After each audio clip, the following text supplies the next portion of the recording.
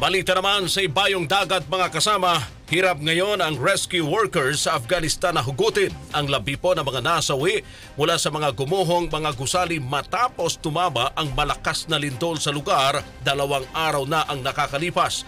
Ayon sa Taliban administration, tinatayang nasa 2,500 katao po ang nasawi at maraming iba pa ang sugatan dahil sa pagyanig ng itinuturing na pinakamatinding lindol na tumama sa bansa. Matapos ang malakas na pagyanig ay naramdaman din ang magkakasunod na aftershocks kung kaya nagsipaglikas na naman ang mga residente sa lugar. Kaugnay nito ay nagpadala naman ng rescue workers at humanitarian ang mga katabing bansang Pakistan at Iran habang nag-alok ng cash relief ang China.